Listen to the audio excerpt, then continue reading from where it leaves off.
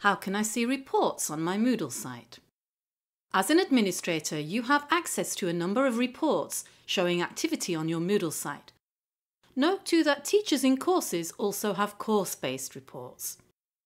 You can access site reports from Site Administration, Reports. Let's look at just a few. If comments are enabled from advanced features, you can see them here to ensure there is nothing inappropriate.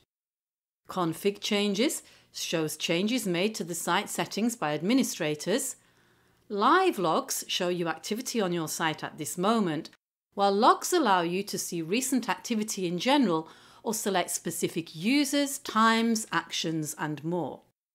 Question instances allows you to see how many questions of a certain type there are on your site to gauge their popularity. System status allows you to check everything is working okay in your site and if you register the Accessibility Toolkit, this will help you monitor accessibility of course content. And custom reports allow you to create detailed reports which you can schedule and share with others. To summarise, site reports are available from Site Administration Reports. Course reports are available to teachers within courses.